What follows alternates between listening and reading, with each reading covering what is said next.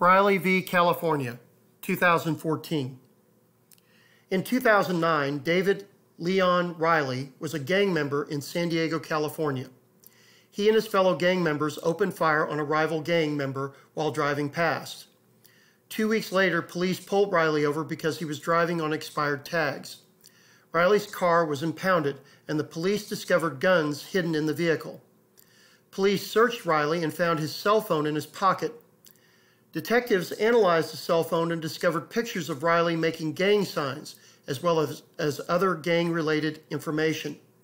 Using the evidence from the hidden guns and cell phone information, Riley was charged with attempted murder and assault with a deadly weapon. Riley tried to have the evidence from his cell phone suppressed, and the court denied his request. Riley took his Fourth Amendment case all the way to the U.S. Supreme Court. In a unanimous decision, the Supreme Court found that the warrantless search of a cell phone was unconstitutional. The digital information on the phone cannot be used as a weapon and therefore cannot be searched without a warrant.